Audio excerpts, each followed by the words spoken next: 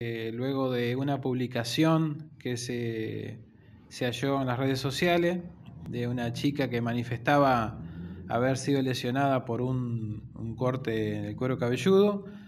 este, se solicitó, se comunicó al fiscal y se le solicitó hacer una contratación en el lugar,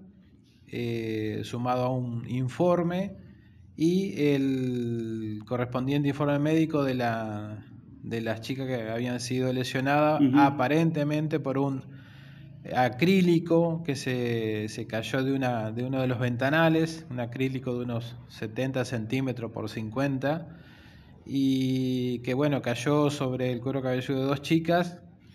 eh, con heridas contuso cortante en la región parietal, y, pero sin, sin lesiones de gravedad.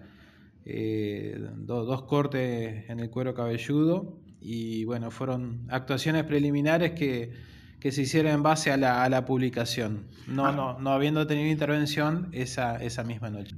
Eh, tomamos, como, como le dije, tomamos conocimiento por la publicación, por la publicación de la, de la página de la red social y a raíz de ese instante se tomó este, hacer las actuaciones, las que serán derivadas a la Fiscalía